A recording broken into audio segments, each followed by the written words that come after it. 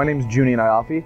I, uh, I just finished fourth year mechanical engineering. My name is Erica McLaughlin and I'm in uh, a double major of history and religious studies. My name is Oleg. I just finished fourth year chemical engineering. And I joined this program because it combines uh, two of the things that I love most, which is sort of being able to be creative and using my business side to bring them together and work with a team to develop a new technology or a new product.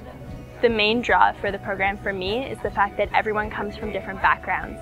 So you have a bunch of engineers, you have a bunch of commerce students, and you have a spattering of arts and science students from all different faculties. So it's an incredible diversity that brings a richness to the program that you otherwise wouldn't get if you just stick to one faculty.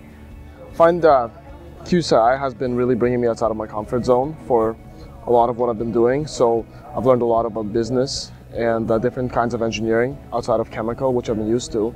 And uh, it's been super intensive, but also extremely rewarding. I'm hoping that by the end of the program, I mean, ideally it would be lovely coming out with, with a startup business that is showing potential signs to, to continue on, that I can work with it with my team in the coming years. But the bare bones of this program, what I'm hoping to get from it is a knowledge and an understanding of how business works and how you can create a startup so that I can go off on my own potentially later and have the skills to be able to replicate it in whatever it is I'm doing. Even if it's a completely different field, a completely different area, this program has given me the resources and the training to be able to know how to figure it out from A to Z and have confidence in doing that on my own later.